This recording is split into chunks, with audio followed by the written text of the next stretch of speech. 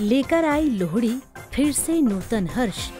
करे यही कामना मंगलमय हो वर्ष। देखिए, लोहड़ी पर हमारा विशेष कार्यक्रम, आचार्य श्रुति द्विवेदी जी के साथ। शुक्रवार 13 जनवरी 2023 शाम पाँच बजे, सिर्फ़ श्रद्धा एम चैनल पर।